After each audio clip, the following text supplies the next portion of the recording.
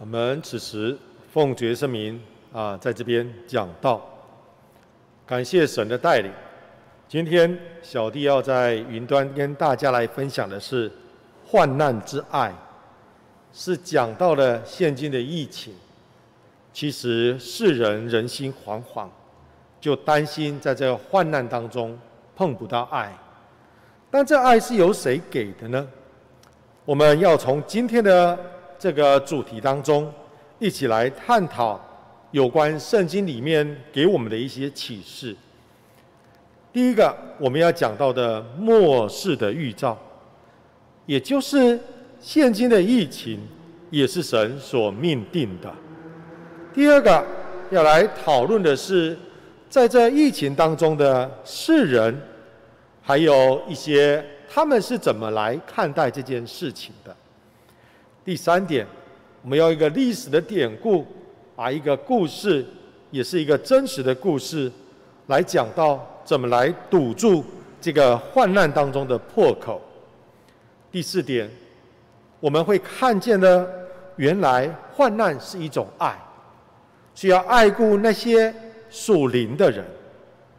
第五点，在这疫情当中，我们要让患难的爱能够无远弗届的。把它传出去，这份的爱是来自于神的爱。第六点会来做今天讲到的一个结语。首先，我们来看末世的预兆。疫情，我们到底在怕什么？我们怕口罩不好买，还是担心的这个酒精缺货？亦或是我们担心感染？甚至我们在新闻当中。看到这死亡的个案不断的在增加，我们人心有点害怕；亦或是佳节将要到了，可是我们有家却归不得，那种人与人之间渐渐的疏远而害怕呢？其实，在这个患难当中，一个真正信耶稣基督的人，我们看见了什么？我们来看路加福音的第二十一章。路加福音的第二十一章，路加福音的二十一章，这边有说到末世的预兆。我们来看路加福音的二十一章，我们来看这个第嗯二十哎，对不起，二十三章。哦，我翻错了，来看二十一章没有错。路加福音的二十一章，我们从这个第七节来看。他们问他说：“夫子，什么时候有这事呢？这是将到的时候，有什么预兆呢？”耶稣说：“你们要谨慎，不要受迷惑，因为将来有好些人冒我的名来说我是基督。”又说：“时候近了，你们不要跟从他们。你们听见打仗和扰乱的事，不要惊慌，因为这些事必须先有，只是末期不能立时就到。”当时，耶稣对他们说：“民要攻打民，国要攻打国，地要大大的震动，多处必有饥荒。”瘟疫，又有可怕的异象和大神机从天上显现。我们看到了这些事的征兆，也就是末世要来的征兆。我们如果从这个约这个路加福音的二十一章，我们从第八节一直来看，那么第八节所讲到的是一种宗教之乱。也就是有些人会冒基督的名而来，在这个末世当中，我们确实也看掉了一些假先知、假基督，来混淆我们的世人。从第九节说：“你们听见打仗和扰乱的事，不要惊慌。”这些事情告诉我们，是人的一种乱象，也就是世人在这个世上。国与国之间的一种打仗之后，第三个阶段、第四个阶段是讲到的大自然还有临战。所以到末世的时候，尤其到第三点，我们看到这个地要大大的震动，多处必有饥荒、瘟疫，又有可怕的异象和大神机从天上显现。我们看到这些景象，就想到我们现在的疫情。我们知道一个看到这种动荡不安的感受，这只是患难的表面，但事实上在患难的当中。我们一个属灵的人，我们当怎么来看待呢？我们来看这个启示录的第三章。启示录的第三章，启示录的第三章，我们来看第十节。启示录的第三章第十节，这边说到：“你既遵守我忍耐的道。”我必在普天下受试炼的时候，保守你免去你的试炼。这边所讲到的遵守神忍耐的道，也就是神要搭救专心遵守他、爱他的人。我们也从诗篇的九十一篇看到了，我们一个敬畏神的人，神必搭救。那我们所看到的某些世人。他们的想法可跟我们不一样。我们来看启示录，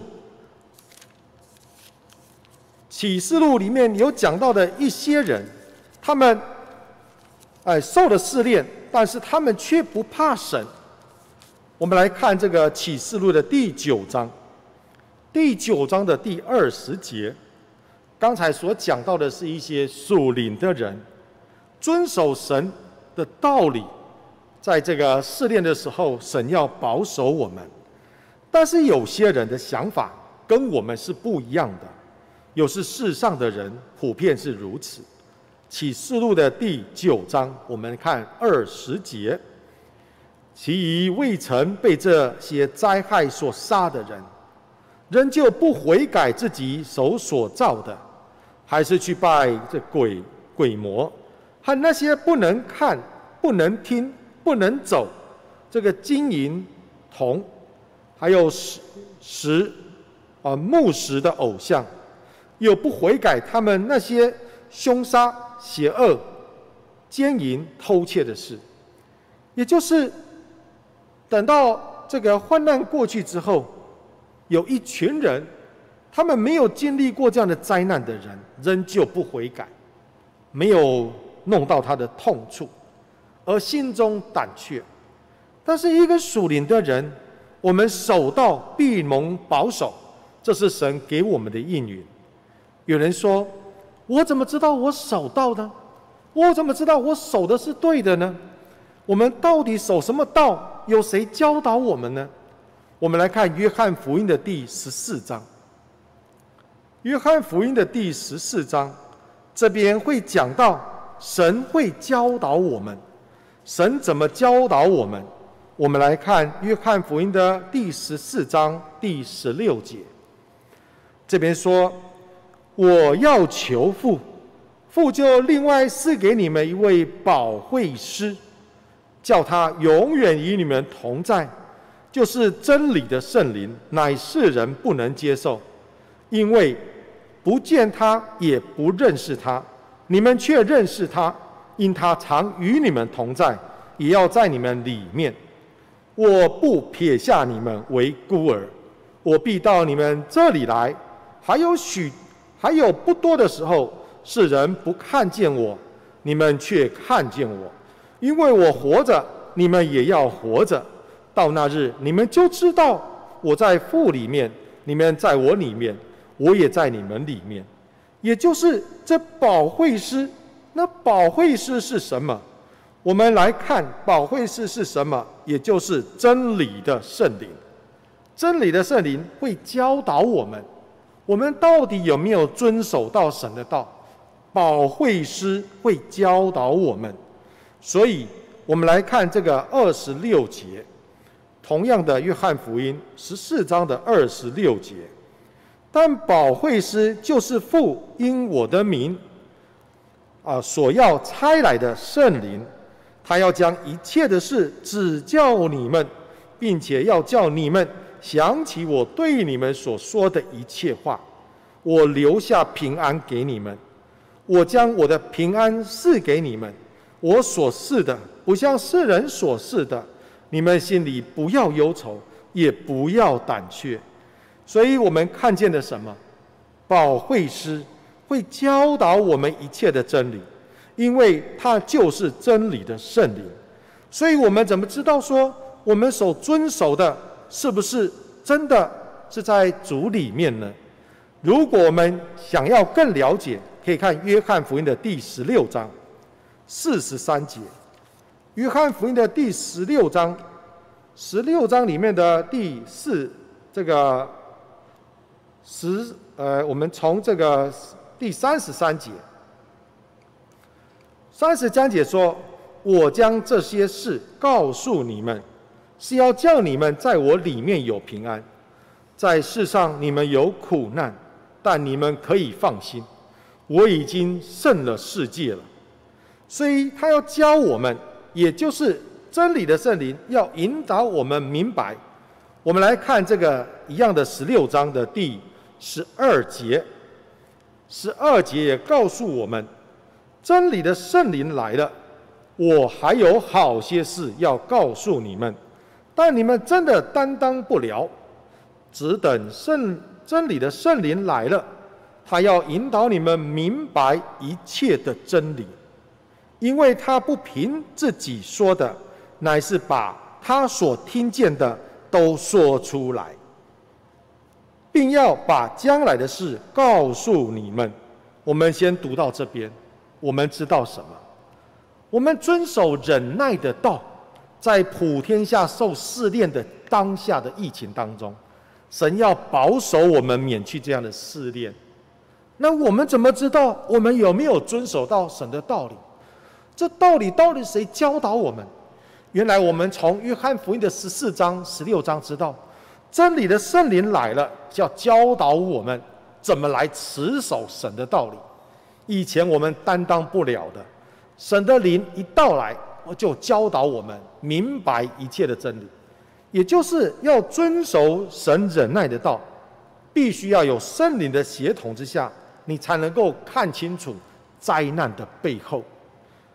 我们如果在这个灾难的日子，我们心中胆怯，力量就微小。这种感觉像什么？如果我们属灵的人懂得呼求神，但这种世人他们怎么懂？或许他们还不认识真神。这就是在疫情当中，我们应该要有的属灵的反应。他们在疫情中的人其实是很痛苦的，因为他们所看见的是那一种为了自己为中心，害怕自己失去的一切，所以有很多事情所看的是环境。那今日的我们，我们怎么来看待这一切呢？我们知道彼得走海面的时候。他因见风甚大而沉到海中。原本他在海面上行走非常的安稳，因为他在海中行走的时候，心中所讲的是、所想要的是要到父神那里去。可是他却因为看见环境而心中软弱，只是因见风甚大，只看见的风甚大，还不知道浪有多大。只因听闻风的大，看见风的大而害怕胆怯。今日属灵的人都有这样的软弱，更何况世间的人？我们岂不用一个同理心去面对他们的苦难？所以苦难当中，世人自有方法，他们总以自己为中心，即便是发烧了，依然要出门囤积口罩。只求自己肉体上能够存活，有时候会忽略了别人的生死。我相信这样的心境会带来什么样的后果？我们或许看到今日台湾的疫情，心中有点忧伤。但我们回顾二零一九年小弟在网络上所收集的等等的资料，我们就不难发现，世人真是苦啊！他们的苦。造成一些不法事情增多，许多人的爱心才渐渐冷淡了。怎么说呢？我们来看这个图，这是在二零一九年当时收集到的一张图，也就是当时这个武汉有这样的疫情的时候，当时的新闻有报道，有三十万人为了命窜离家园。他们这三十万撒出去的时候，其实周边的省份都很害怕。在当时看到的这河南省，为了命竭力的防堵。这个湖北人北漂到这个湖南省，所以他们把用这个怪手把这个高速公路的道路挖的路，让这个汽车没有办法通过。当时的人一股脑儿想要往外跑，但却不知道这个并不是因为这个地所造成的，乃是因为人。所以有些人呢，所谓的事后孔明去探讨这件事情。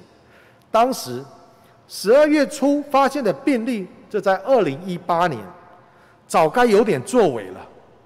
当时称为武汉肺炎的潜伏期很长，半个月就变成了社区感染。春节都已经过去了，封城有用吗？人儿已经往外窜逃了。封城早知道这件事情，就已经告知了他们当下的人，所以被封城之前。所有的居民都已经窜逃了。比较可恶的是，有些人吃了退烧药之后呢，逃过了安检，而且呢，很自以为是的在微博里面来分享那一种逃亡的一种胜利的现象，甚至在微博炫耀说他胜利的大逃亡，吃了退烧药降温，去在上海的迪士尼玩，有人成功的入境了法国。让法国产生了很大的风波。我们看到城市的沦陷，甚至是世人真的受到这样疫情的肆虐，我们或许会觉得说他们真不该。但如果想的是我们，我们真的是人碰到这样的灾难的时候，我们的心难道不会恐慌吗？我们不是对着人家来做指责，导致我们要去醒思。世人真的活在一个痛苦的压迫之下。今天台湾刚刚好尝到这种新冠的威胁，但是我们也看见别人却要错误的经验。我们表现似乎有点理性，懂得自我封城，懂得我们不要出去。但你们知道吗？第一线的防疫的医生、护士，他们怎么说？我们看到这张相片里面，也就是医生跟护士，他们用英文写着：“他说，我为你，我们滞留在这里，这里是指的医院，也就是我为了全台湾省的民众们，我们守在医院，也期待你们为了我们大家，能够守在自己的家里，不要乱跑。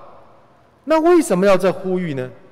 其实，因为我们也害怕，有些只想到自己的世人，他们只想到自己；有些没有症状的人，我们看他们到处爬爬照，也看到一些裁剪还在等候确认的这六天。我们说所谓的校正回归，就是这几天，因为采样没有办法一时把它检验出来。所以在还没有确诊之前，他们也不知道自己有没有染病，但其实有些人却想到了自己，而是到处的走动，这是我们很担心的。也就是有部分的病人只在乎自己，却没有爱他人的心。我们对他们有点同理。说真的，换作是我们，我们哪一个不害怕？换作是我们，我们哪一个不担忧？也就是我们大家都活在这个恐惧当中，为什么？因为我们少了爱，少了什么样的爱？关爱他人的爱，少掉了真理的爱。这种爱驱使了他们，有时候不知道怎么活下去，只想到了自己。今天在疫情的背后，我们知道世人因为没有神，在内心里面很难得到真正的平安。我倒要跟你们分享，也就是以西结书的七章二十五节，他说：“毁灭临近了，他们要求平安，却无平安可得。原因是什么？原因是他们少掉的爱。”我们一起来看以西结书的第七章。以西结书的第七章，以西结书的第七章，我们来看二十五节。以西结束的第七章，我们来看这个二十五节。他说：“毁灭临近了，他们要求平安，却无平安可得。灾害加上灾害。”风声接连风声，他们必向先知求异象，但祭司讲的律法、长老设的预谋，都必断绝。也就是出于忍的方法，没有真正能够解决的。或许我们有专家可以依靠，但是说真的，如果没有发自内心爱别人的心，我们没有办法觉悟到去关怀别人。就像相片当中有一个人戴着三层的口罩，我们就知道，在这个三层口罩下的他，内心有多么的惶恐，多么的害怕，担心自己被这个疫情当中染疫了。我们在想，如果我们没有这样爱别人的心，我们没有爱的道理在我们内心里面，我们认为这个残局。也就是目前当下的疫情是很难收拾的，其他国家有封城的制度，但效果却不彰，因为要出于爱心，才能够免去这些不法事情的发生。那小弟要在这边来分享一下，用爱来堵住破口，让疫情能够终止的一个故事。这个故事发生在十六世纪。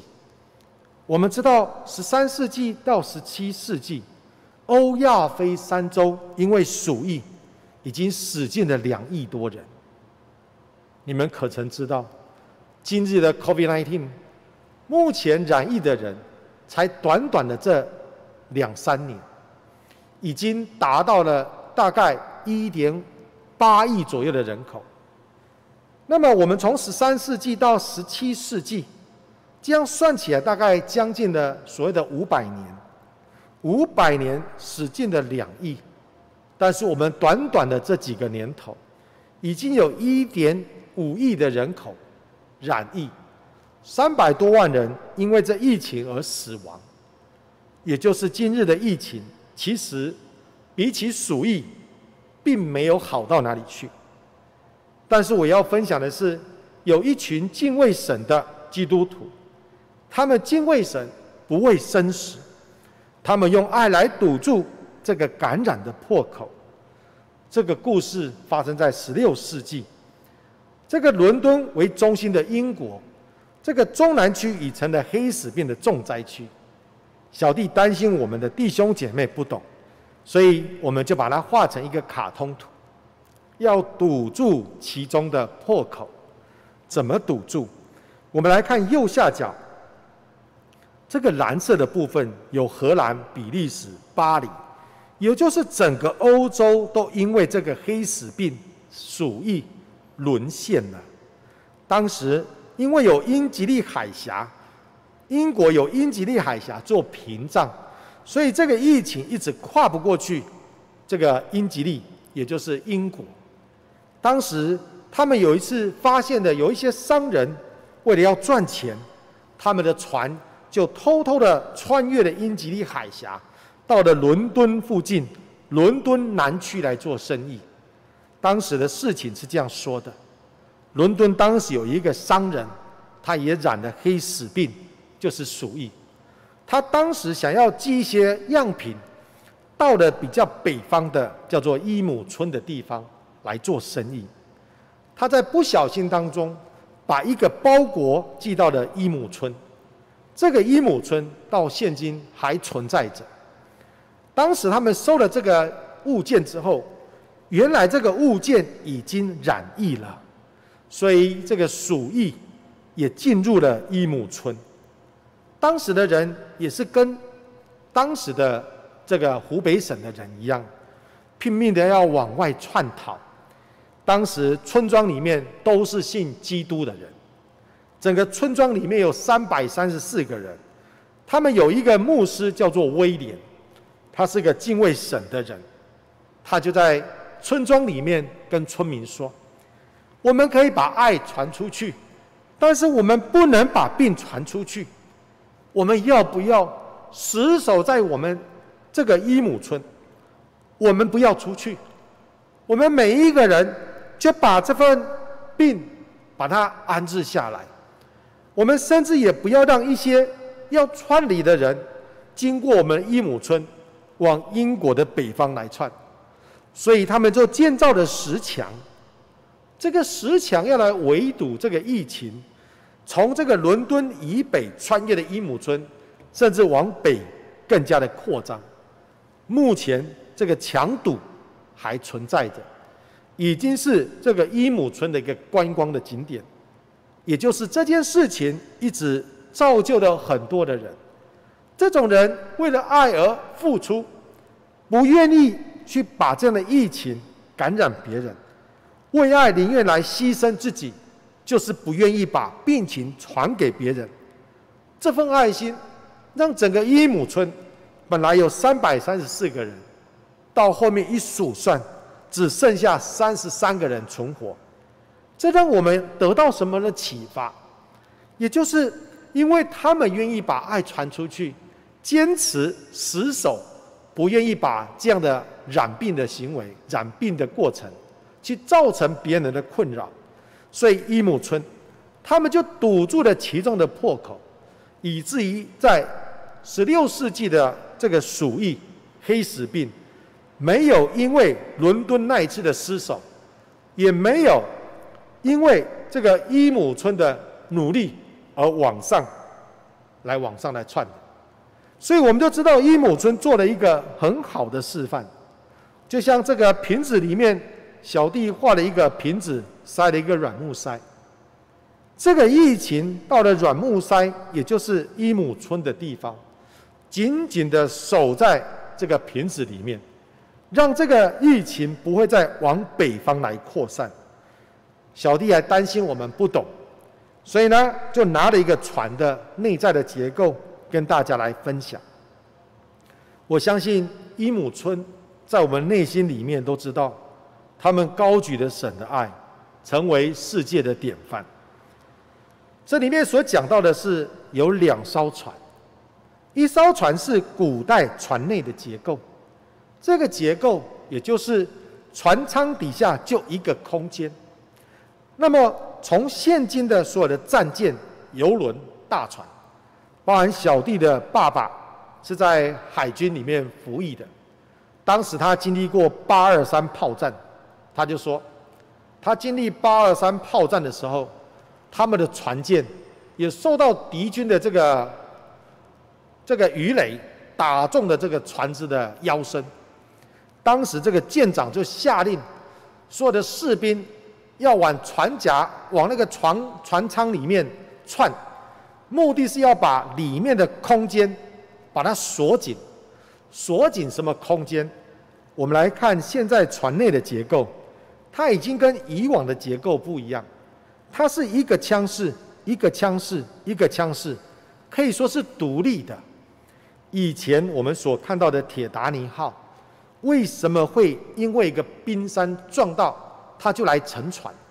就是因为它的古代的船内的结构，它是一个很单纯的一个腔室，所以如果有破洞，就像卡通图里面的红色的部分，一个破洞，海水一旦进来，就会无限的上纲，把这个船填满，填到船下沉为止。这就是古代的人。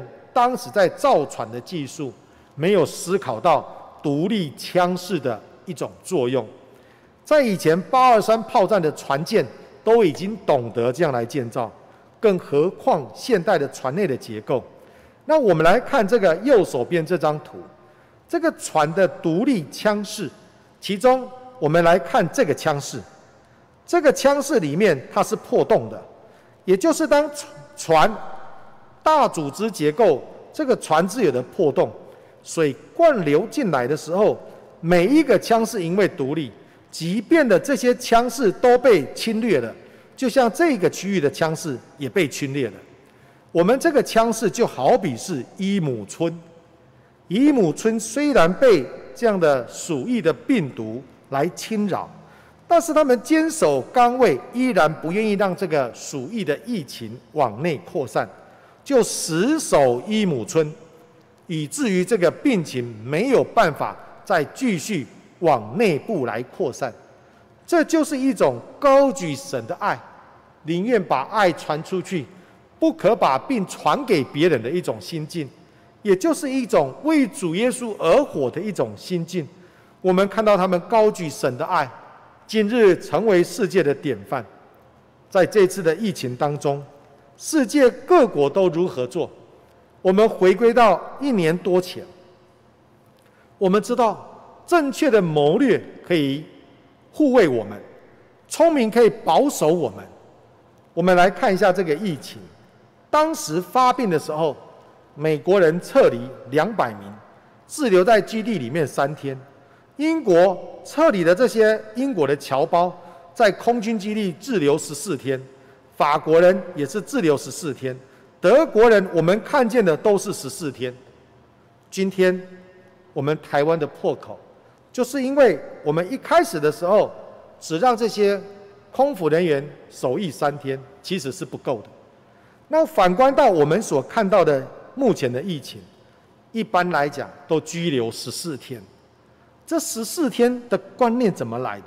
其实是学习伊姆村的精神，也就是伊姆村为什么能够把它疫情控下来，就是在短短他们愿意把爱传出去。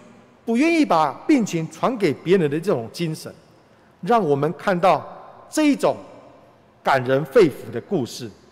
那么疫情的发展，我们不能一直存留在这种防疫的一种喝彩。我们当盯静下来，还思考这个患难的背后的意义是什么？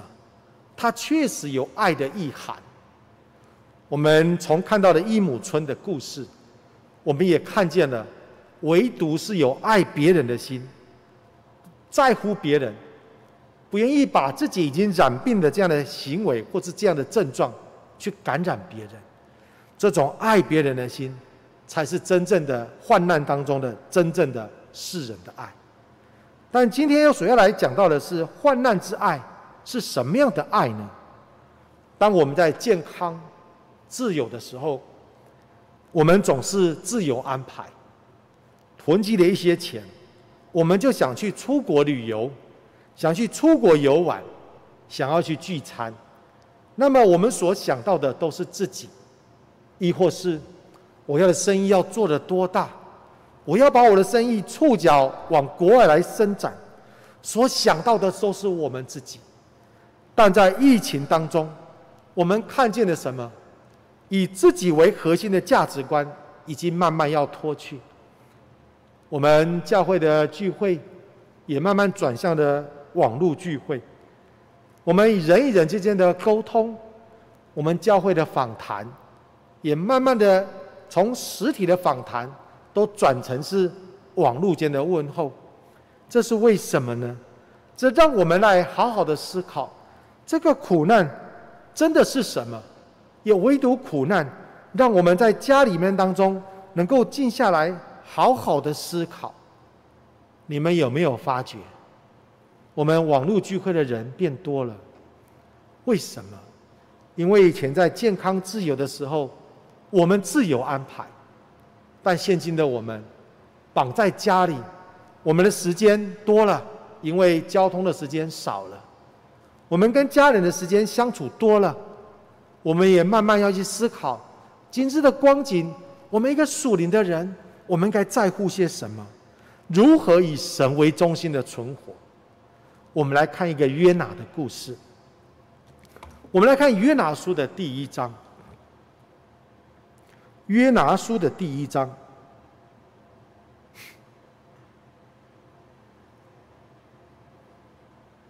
约拿书的第一章，约拿还在健康的时候，还能够自由自己行动的时候，神叫约拿去尼尼围城传警告，因为神也爱着尼尼围城的人。可是我们看约拿书的第一章第三节，约拿做了什么事？约拿没有听神的话，哎，约拿却起来逃往他斯去躲避耶和华。下到约帕，遇见了一只船要往他斯去，他就给了船价，上了船，要与这船上的人同往他斯去，躲避耶和华。所以，一个健康的人，他处处所想到的是自己的价值，自己的信仰的那一种傲慢，信仰的那一种自以为是，认为我可以今天做什么。我可以逃避耶和华的面，直到了什么时候？直到了灾难临到的约拿，就像我们的第二章，就像我们所看到的这张图，约拿在渔夫当中，这时候的他，可以说失去了自由，被死守在一个固定的空间当中，简直要窒息了。这种感受跟现今的我们很像吧？我们以前可以出国旅游，我们可以想到哪就到哪。今日，我们连出去我们家庭外面走一走，都变成了一个最奢侈的享受。为什么？因为灾难把我们紧紧的捆绑，就像今日的约拿，他在渔父当中，他的祷告，让人反复的去思考，也就是唯有灾难的时候，才会真正的想念到神。所以疫情的背后，到底是一种我们恐惧的条件，我们害怕的理由，还是一个亲近神的好时机呢？所以我们来看约拿书的第二章第一节，我们看到约拿在渔腹中祷告耶和华他的神说：“我遭遇患难，求告耶和华，你就应允我从阴间的深处呼求。”你就俯听我的声音，你将我投下深渊，就是海的深处。大水环绕我，你的波浪洪涛都漫过我身。我说：我从你眼前虽被驱逐，我仍要仰望你的圣殿。诸水环绕我，几乎淹没我；深渊堵住我。海草缠绕我的头，我下到山根地的门，将我永远关住。耶和华我的神啊，你却将我的性命从坑中救出出来。我心在，我心在我里面发昏的时候，我就想念耶和华。我的祷告进入你的圣殿，祷到你的面前。那信奉虚无之神的人。离弃怜爱他们的主，但求必用感谢的声音献祭于你。我所许的愿，我必偿还。救恩出于耶和华。我们看到他今日所碰到的患难，却说：“我在你眼前被驱逐，我仍要仰望你的圣殿。”你就知道约拿在这个。患难当中，就好比这个患难就是一个爱，紧紧的环抱了约拿，让约拿去思考人生的定向到底是什么。从约拿书的二章四节，他在患难当中才学会仰望神的圣殿，在患难当中的约拿，才去权衡生命的轻重，明白一生当追求的方向是什么。我们亲爱的弟兄姐妹，还有网络上、云端上的我们的好朋友们，我们如果今天看到灾难的表面，只是一味的害怕，或许在我们的生命当中，还没有真正找到属灵的避风港。一个属灵的人，在这灾难当中，他看到的灾难原来是祝福的开始，因为唯有被灾难拥抱过的人，他就像约拿，才能够去在爱拥抱当中去思考神的话语，去仰望神的圣殿，真的很像我们，也祈求主耶稣给我们在这样的环境当中，在这患难当中，真的去学习约拿，去衡量生命的轻重。明白一生当追求的方向，怎么衡量轻重？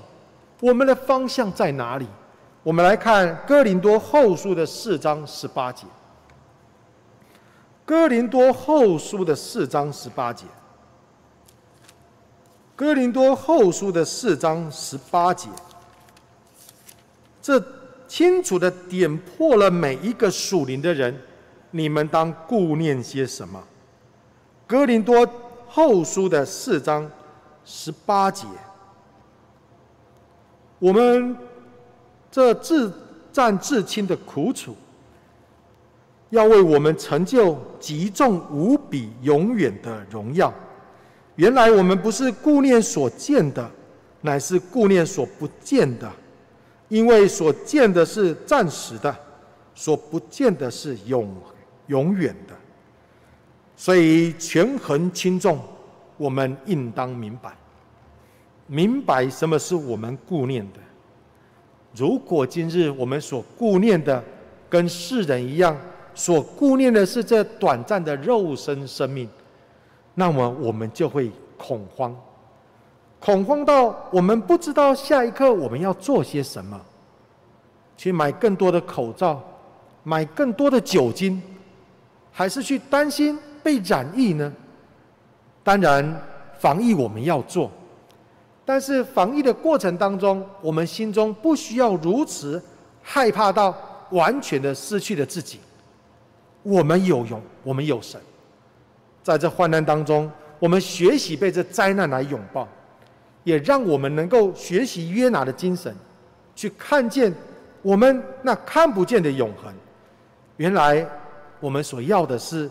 那看不见的永生，当我们知道要去寻找这看不到永生，被这灾难拥抱的时候，我们要享受在当中，活在当下，因为我们自己知道，我们再怎么担忧，也不可能为我们的生命多增长一刻。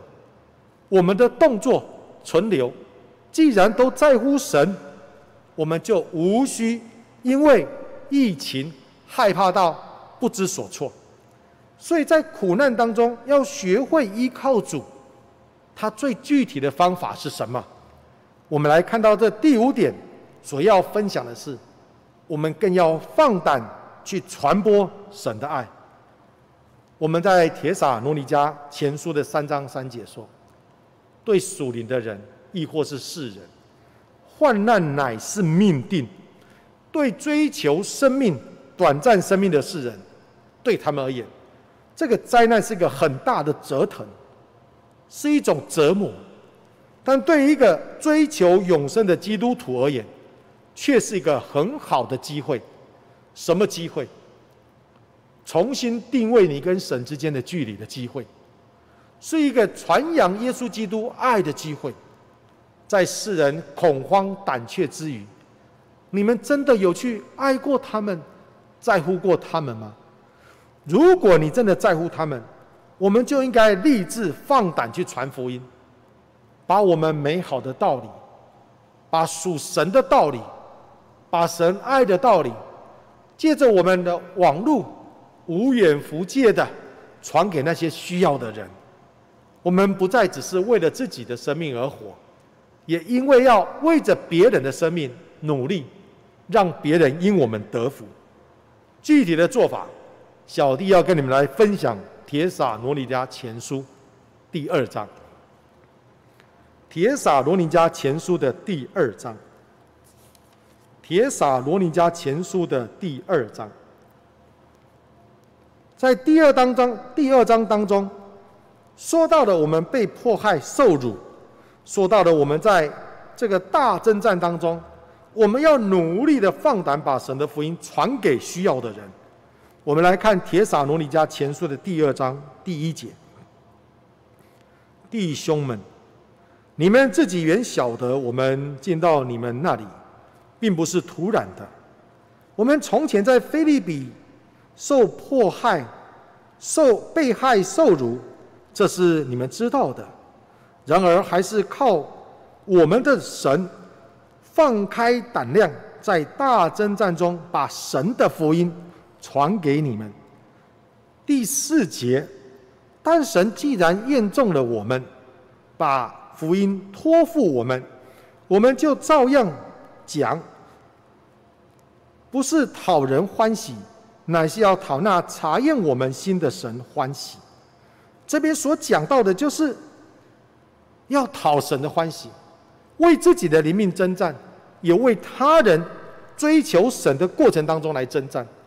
这是一个被害受辱的环境，亦或是我们把道理传给别人，被别人来唾弃的，我们依然要传。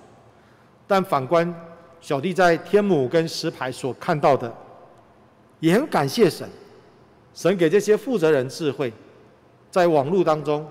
原来我们实体聚会只有礼拜二、礼拜五、礼拜六。今日也因为疫情的关系，我们礼拜二、礼拜三、礼拜四、礼拜五、礼拜六、星期天都有聚会。也因为聚会当中，我们好好去思考神的话语有多么的甜美，安慰我们的心。我们也顺势把这些讲到的内容。传给那些需要的人。小弟有一个同事，最近这个癌症扩散了。小弟把教会的一些道理传给他。以前他觉得说啊，你们这些我我我看就好了，你们你们就看就好了，帮我祷告。他会讲这种话语。后来传给他一天，传给他两天，三天，我就不禁问他，亲爱的老师。我这样传给你会造成你困扰吗？他竟然回答我说：“不会，很好。”他看到这些文章得到安慰。也就是说，如果我们可以在这个患难大征战当中，把神的爱传出去，而是神的福音。这边讲到的，要放胆把神的福音传给你们。我们继续看第二章的这个第七节。第二章的第七节。只在你们中间，要存心温柔，如同母亲乳养自己的这个儿子孩子。我们既是这样爱你们，不但愿意将神的福音传给你们，连自己的性命也愿意给你们，因你们是我们所疼爱的，也就是连自己的性命都愿意给你们。这一种母爱、母亲爱孩子的心肠，这是一种好牧人喂养舍命的精神。我们来看到他讲到这传神的福音，第九节，弟兄们，你们纪念我的，我们的辛劳劳辛苦劳碌，昼夜做工，传神的福音。这边又讲了第三次神的福音，所以传福音是传神的福音，不是传自己的福音。所以要很清楚明白所传的是什么。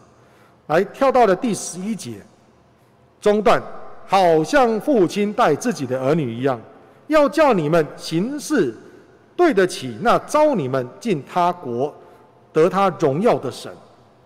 所以传福音是传神的道理，要保持的父母亲的心肠，去爱他们，连生命给他们都愿意。我相信把爱传出去。我们愿意这样做，远远大过当时的伊姆村。现在他们成了一个观光的景点，大家所追求的去瞻仰他们的这样的一个伟大的事迹。但我们今天是讨神的欢喜，不是讨人的欢喜。所以小弟来做一个结语：末世的征兆到了，我们看到了国打国民打民，首先会看到的宗教之乱。之后看到了人为之乱，又看到了大地的反扑，也包含了疫情，天上的大神机降下。就疫情来讲，我们很清楚，疫情的背后是神的慈爱，疫情的背后是对我们世人的提醒，末世要到了。在疫情中的人，这些世人只求自己的活命，以自己为中心，造成了很多防疫的破洞。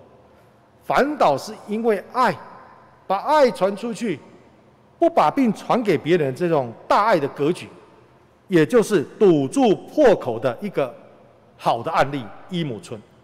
我们学习这样的精神，在患难当中把爱活出来。在患难之爱当中，我们也学习到约拿。原来约拿在患难当中才能够调转自己的脚步，仰望神，也祈求主耶稣能够带领我们的会众，在这个疫情当中，也能够调转我们的脚步，好好去思考神的作为，让这个患难之爱来拥抱我们，来带领我们去看见我们的价值。那么，遵守神的道，放胆传主的爱，这是在疫情当中我们可以做到的。我们也祈求主耶稣能够让我们能够看清未来，努力为主而活。在患难当中，我们不足喜，我们倒要把这份爱传给那些需要的人。我们一起来唱诗。